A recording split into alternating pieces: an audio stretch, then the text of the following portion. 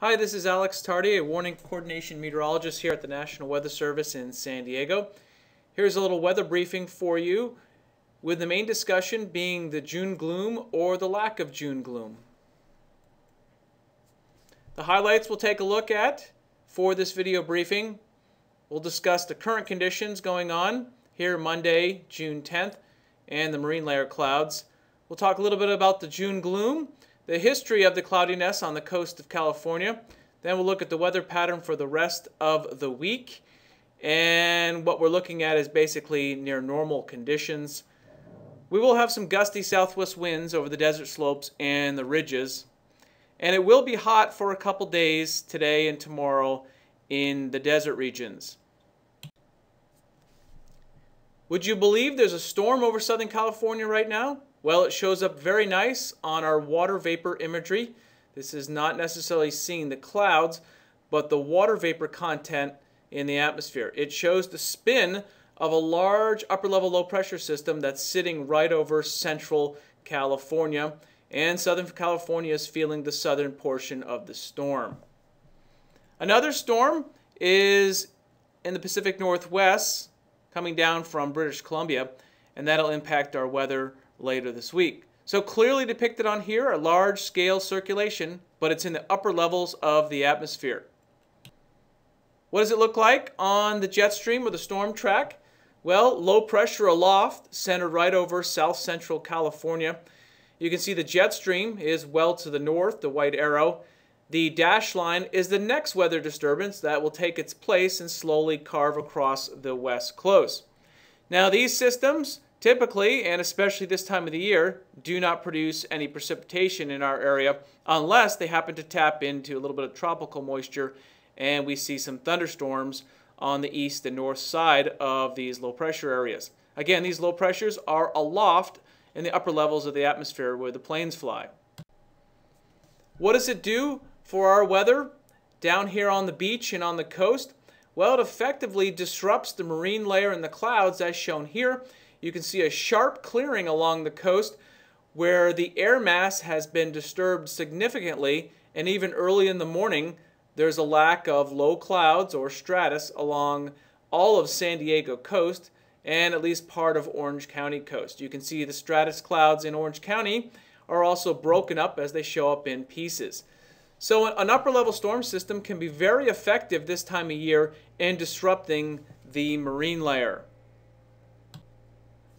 What does it look like when we launched a weather balloon this morning? Well, you can see on here the red line is temperature, green is dew point, so that's a measure of the moisture. The very shallow area at the bottom of the, this profile is the marine layer, and it's several thousand feet deep. Above this, you can see the stronger winds that were captured. Those winds are coming from the southwest, and those are associated with the storm system that we talked about in the upper levels of the atmosphere. Another parameter that we take a look at are sea surface temperatures. Just like we do with El Nino across the central Pacific, this time we look along the coast. Now, sea surface temperatures don't fluctuate like the temperatures do over land, and they don't fluctuate even much when storm systems move through. The heat capacity of the water can keep the temperature at a near constant level for a long period of time. So we look for changes here as they can be significant when they do occur. You can see in the southwest California area near the California Bight, water temperatures are actually a few degrees above normal this time of year. Those are temperatures as shown here, running in the mid to upper 60s. Temperatures most recently reached into the lower 70s last week before we had a nice south swell that came up and mixed the water around and cooled it off. That was beach temperature, so that was shallow warm water but the water still remains a little bit above normal along the southwest California coast. You can see offshore there's a large area of slightly below normal in the blue shade. Now, what is the marine layer and the clouds that are often associated with it? Well, of course, you can have a marine layer and be cloud free.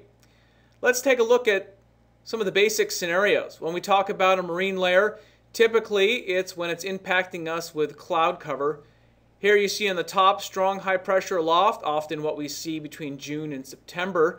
And it suppresses the marine layer, it keeps it down towards the coast, keeps the beaches cloudy at times, and especially brings the cooler temperatures to the coastal regions. While inland, all that hot air mixes right down across the higher terrain and the deserts and even the valleys at times with sizzling hot temperatures. Now we also can have weak high pressure aloft like we've been seeing a lot in May and early June. This keeps the marine layer much deeper so it crawls up over the valleys and up into the foothills. The deserts are quite hot or at least normal but what it also does is allow the marine layer to mix out a little bit so you get some partial clearing in the afternoon hours of the day. Now the scenario at the bottom, that's what we've been looking at today. And we also saw early last week where low pressure, a low pressure system is sitting right over our region. That allows the air to effectively rise and lift, and this can completely mix out the marine layer. It also can spill in some slightly cooler air over our bigger mountains and into parts of the deserts. It results in a little bit nicer weather on the coast, a little bit warmer as well, and much more sunshine along the coast as the atmosphere mixes out nicely thanks to the low pressure. The air is allowed to rise and not be trapped below the marine inversion. So that's the scenario at the bottom that we're looking at today. Why do we call it June gloom, you might wonder? Well, along the southwest California coast, when we look at an average of cloud cover over the water and along the immediate coast, we can see that in June, typically that is the time of the year when conditions are most cloudy as shown here in the upper right. The red depicts the percentage of cloud cover and it's most widespread during the month of June. That's not to say that May and also July, they have their share of tremendous amount of cloud cover over the water and occasionally on the coast. When we get into August and September, we tend to see the atmosphere becoming so hot, water temperatures warmer, and we don't see the cloud cover as widespread, at least on an average year. Well, as we know with weather, most years are not average. Here's a depiction of the cloud cover. Frequency of low clouds along the entire California coast. You can take a look at this image here. Pick your favorite year, favorite month. This is an average along the entire coast, so it's not necessarily San Diego or Orange County coast. But it does show like a year 2010, which was known to be quite cloudy during the summer, started off pretty good in the May with month of May with little cloud cover, and then as we wore off into the year, the summer months, it was cloudy many of the days, at least on the coast. Most recently last year, you can also see the month of May started off pretty good as low pressure aloft kept us mixed out until we get later into the summer. Now, this doesn't mean that the coastal weather can't be nice during heat waves. It just means that cloud cover and marine layer are strong right over the water and likely up to the beaches. And finally, here's a look at the weather pattern for the rest of the week. Jet stream will carve across Northern California and the Pacific Northwest.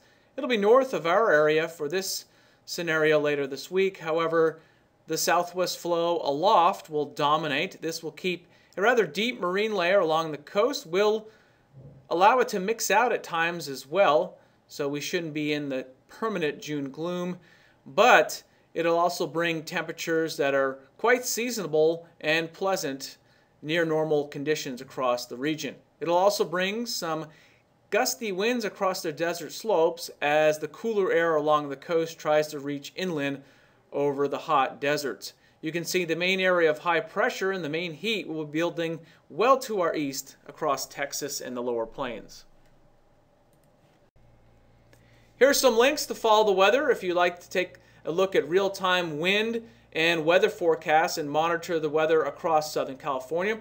All the weather stations, almost a thousand of them in Southwest California, can be found on the map shown here in the middle where it says monitor weather. And you can also look at graphical forecasts on a Google map on the link shown here where it's labeled as new. Thanks for tuning into this video weather briefing. We hope you found it useful.